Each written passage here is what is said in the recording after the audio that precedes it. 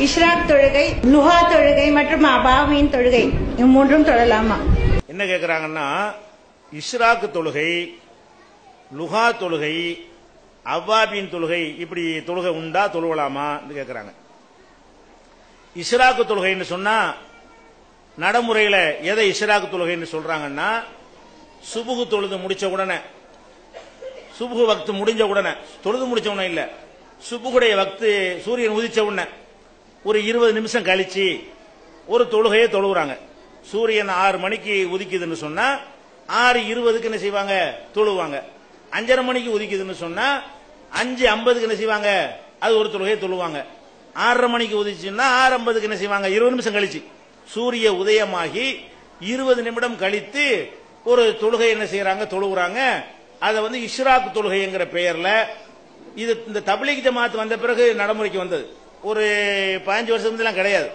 ஒரு இருபது தபிலிக்கு முன்னா இருபத்தஞ்சு வருஷத்துக்கு முன்னாடி எல்லாம் பாத்தீங்கன்னா இஸ்ராக்கு தொழுகைன்னு ஒரு தொழுகையே சமூகத்தில் கிடையாது. இது தபிலீக் ஜமாத்துக்காரங்க கண்டுபிடிச்ச ஒரு தொழுகை தான் இது.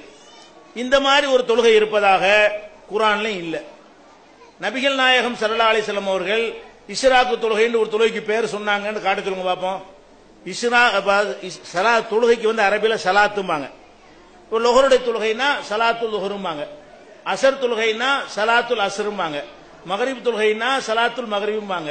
அது மாதிரி வந்து அஹ், இஷ்ராக்கு தொழுகைனா சலாத்துல் இஷராக்கும்பாங்க இப்படி ஒரு வார்த்தையை நீ குரான்லையோ ரசூல்லாவுடைய ஹதிசில் எடுத்து கிடைக்குங்க பார்ப்போம் சலாத்துல் இஷ்ராக்கு என்கிற பெயர்ல ஒரு சொல்லு கூட கிடையாது. அப்ப அந்த சொல்லை இல்லாடி இப்படி தொழுகை இருக்கு? இது மாதிரியான ஒரு தொழுகை அல்லாவும் சொல்லாம ரசூலும் சொல்லாம இவங்களா உண்டாக்கி கொண்டு ஒரு தொழுகை தானே தவிர இஸ்ராக்குன்ற ஒரு தொழுகை கிடையவே கிடையாது என்பதை நீ என்ன செய்யணும் புரிந்து கொள்ள வேண்டும். இது மாதிரி செஞ்சா என்ன கிடைக்கும்? நான் மண் ஆமில் அமலன் லைச அலைஹி அமுருனா பகுவ ரத்துன். நான் சொல்லாத ஒரு அமலை யாராவது செய்வார்களேயானால் அது நிராகரிக்கப்படும் ரத்து செய்யப்படும். ரசூல்லா சொல்றாங்க மண் அமில அமலன் லைச அலைஹி அமுருனா பகுவ ரத்துன். எனது உத்தரவு இல்லாமல் ஒரு அமலை நீங்கள் செய்தீர்களேயானால் அது நிராகரி தொழுது என்ன பார்க்க மாட்டான்? ரசூல் சொல்லாம ஏன்டா செஞ்சுன்னு அடிப்பான். அப்ப ரசுல்லா செய்ய சொல்லாத ஒன்ன செஞ்சோம்னா அது ரத்து செய்- ரத்து செய்யப்படும்.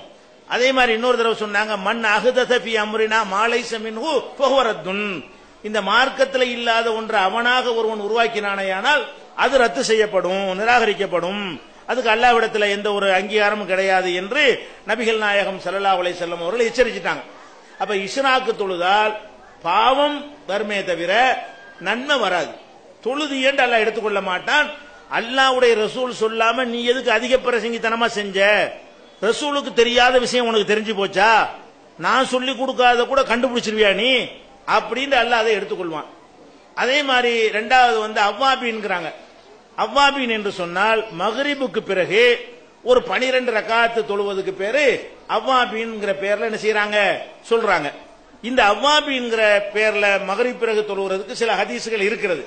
அந்த ஹதீசுகள் எல்லாம் ஆதாரபூர்வமாக இல்லாம பொய் சொல்லக்கூடியவர்களாலும் பலவீனமானவர்களாலும் அறிவிக்கப்படுகிறது. அது ஒரு ஆத்தன்டிக்கான செய்தி கிடையாது. செய்தியை நம்ம ஏற்றுக்கொள்வதா இருந்தால் சொல்லக்கூடிய ஆள் உண்மையாளா உண்மையான ஆளா இருக்கணும். பொய் சொல்றவர் சந்தேகத்துக்கு இடமானவர் மூல குழம்பி போனவர் அந்த மாதிரியான ஆட்கள் வழியாக வந்தால் அதை ஏத்துக்கிற மாட்டாங்க. இந்த அவ்வாபியின் பத்தி வரக்கூடிய சில செய்திகள் இருக்கிறது. அதுல ஒரு செய்தி கூட ஆதாரபூர்வமானது கிடையாது. அதே நேரத்தில் ரசூல் ஸல்லல்லாஹு சொல்றாங்க சலாத்துல் அவ்வாபின் சலாத்துல் லுஹாங்கிறாங்க. லுகா தொழுக தான் அவ்வாபின் தொழுகைங்கிறாங்க. அதுதான் சரியான செய்தியாகவும் இருக்கிறது.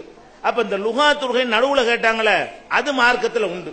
லுகா தொழுகை என்று சொன்னால் சூரியன் உதித்ததிலிருந்து லுகர் நேரம் வரைக்கும் அந்த இடைவெளி இருக்குல்ல அந்த இடைவெளியில் தொழுகிற தொழுகைக்கு பேர் தான் இது வந்து லுஹா. தொழுகை லுஹான்னு சொன்னா முற்பகல் அர்த்தம்.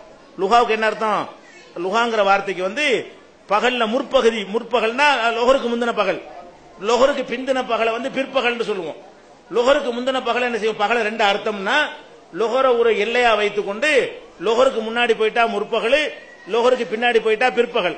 அவள் லுகாங்கிறதுக்கு என்ன அர்த்தம்னு கேட்டா முற்பகல் அர்த்தம். சலாத்துல் லுகான்னா முற்பகல் தொழுகை அப்படின்னு அதுக்கு மீனிங் அப்ப ரசூல் சல்லா அலிசல்லம் அவர்கள் இந்த லுகா தொழுகை தொழுதிருக்கிறார்கள். அபுபக்கர் அபூ ஹுரைரா சொல்றாங்க ரசூல் சல்லா அலைஹி எனக்கு இந்த என்னை விட்டுவிடவே கூடாது என்று லுகா தொழுகைக்கு வசியத்து செய்தார்கள். நான் ஒருபோதும் அதை விட்டது இல்லை என்று சொல்ற அளவுக்கு அது ஒரு முக்கியத்துவம் வாய்ந்த ஒரு தொழுகையாக இருக்கிறது. அது ரெண்டு நாலு எட்டு வரைக்கும் தொழுது கொள்ளலாம். இப்படி ரசுல்லா வந்து எட்டரை காத்து வரைக்கும் தொழுது இருக்கிறார்கள் என்பதற்கு ஆதாரம் கிடைக்கிறது. ஆனா இது நல்ல இது சிறந்த டைம் என்னன்னு கேட்டா ஆறரை மணில இருந்து ஒரு பன்னெண்டு வரைக்கும் தொழுகலாம். ஆனாலும் இந்த தொழுகைக்குரிய நல்ல நேரம் எதுன்னு சிறந்த நேரம் எதுன்னு கேட்டா இந்த ஒட்டகம் ஆட்டுக்குட்டிலாம் இருக்குல்ல குட்டி பெரிய ஒட்டகம் இல்ல. ஆட்டுக்குட்டி ஒட்டக குட்டி இது வந்து ஒரு மணல்ல படுத்து கிடக்குன்னு வைங்க. ஒரு அளவுக்கு சூடு வந்து எந்திரிச்சிடும் தாங்க முடியாத அளவுக்கு அந்த மண்ணு சூடானவன ஒரு குட்டி வந்து சூடு பொறுக்க முடியாம எந்திரிச்சிருமே. அந்த டயம் தான் லுகாவுக்கு சிறந்த டயம் என்று ஹதீஸ்ல சொல்லப்பட்டிருக்கிறது.